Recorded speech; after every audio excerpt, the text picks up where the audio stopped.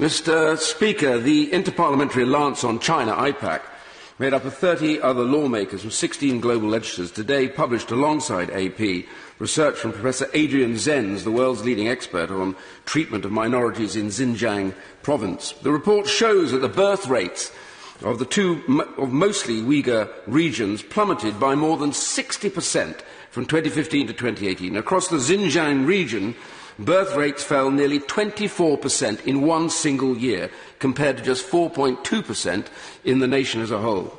Worse, it's now clear this is directly the result of government actions. For unearthed documents, uh, these are government documents, mandate that birth control violations that come about due, and I quote this, due to the influence of extreme religious thinking should be, quote, dealt with severely, and those unable to pay fines should be dealt with through coercive measures. These are in the documents, and including internment. Now, Mr. Zenz's paper concludes that these are part of a statewide crackdown which includes mass sterilisation of women.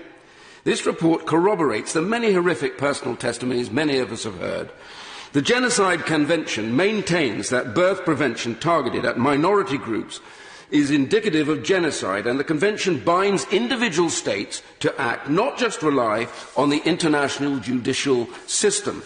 Therefore, does my right honourable friend agree with me that the Uyghur people have been and are victims of mass atrocity crimes?